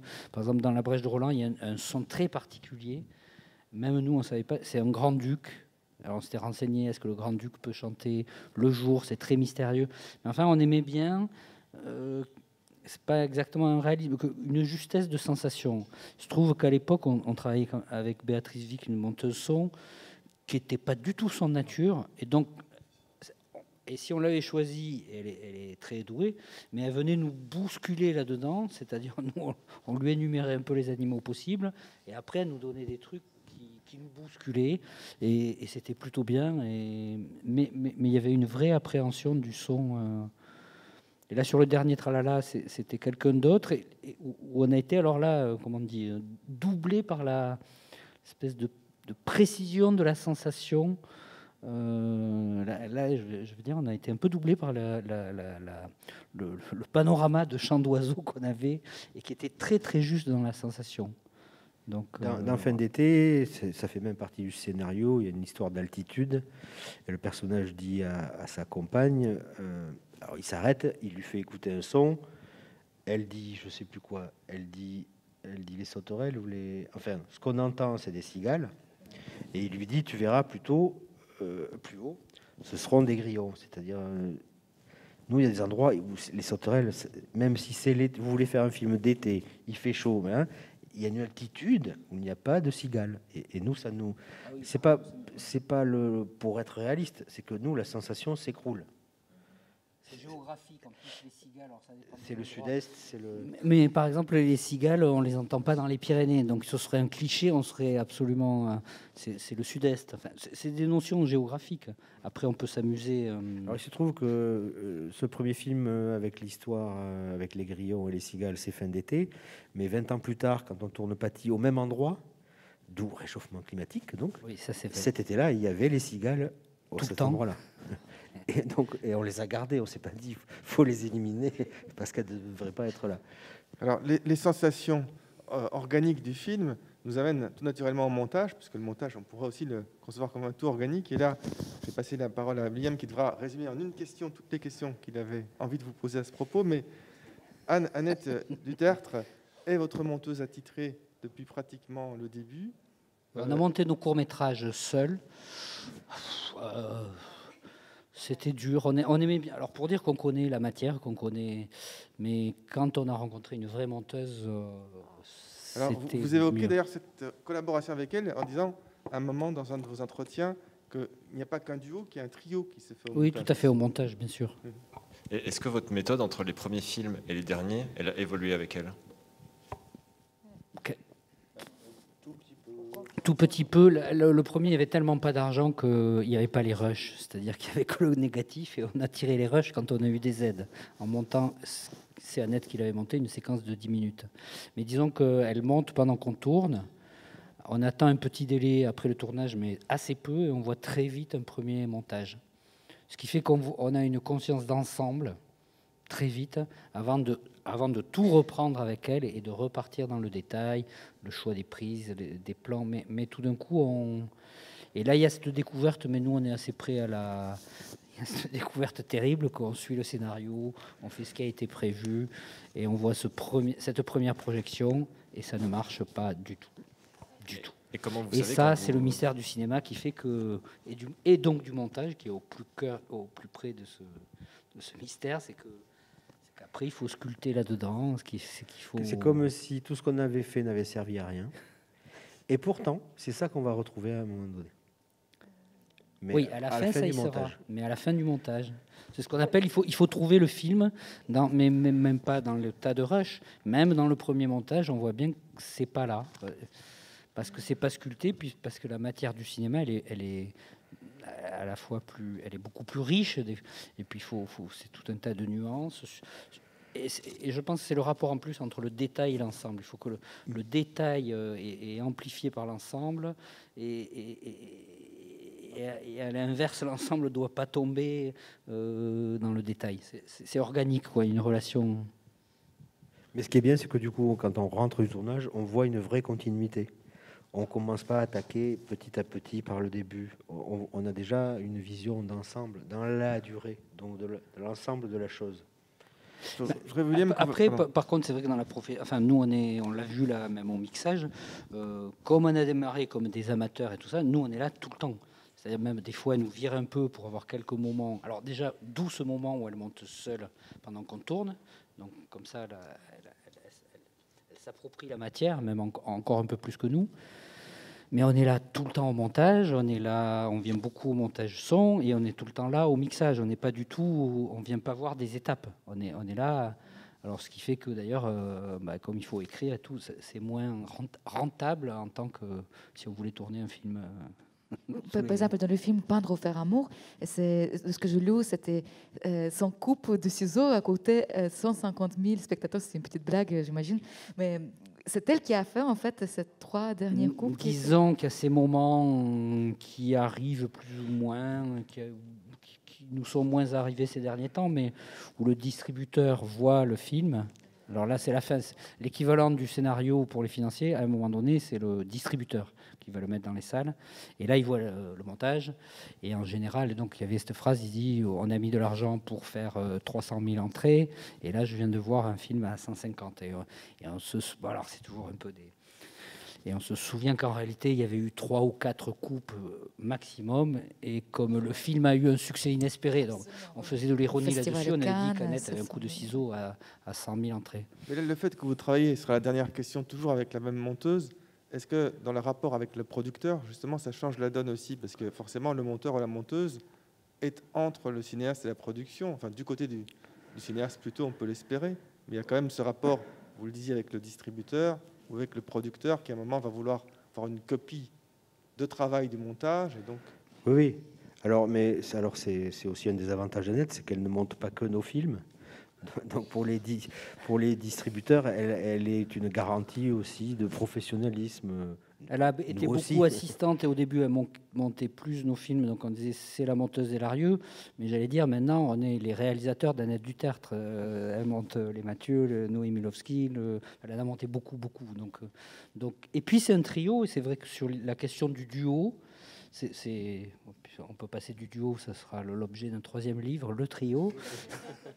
c'est très intéressant parce que ça va encore plus vite au montage. Parce qu'à trois, il y a toujours, évidemment, trois, mais souvent deux et un.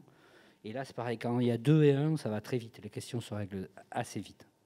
Et, et, et c'est pas du tout, d'ailleurs, euh, ça peut être, euh, c'est pas Arnaud et moi contre Annette, mais ça peut être Annette et Arnaud, enfin contre entre guillemets, mais mais euh, et, et je pense, puisqu'on approche de la conclusion, je sais pas si une question, mais parce qu'il faut jamais oublier que c'est pas créer à deux, c'est pas de se dire ah, il y en a un qui a les- ses idées, l'autre les siennes, et donc on va les confronter. Il y en a un qui gagne. C'est pas ça.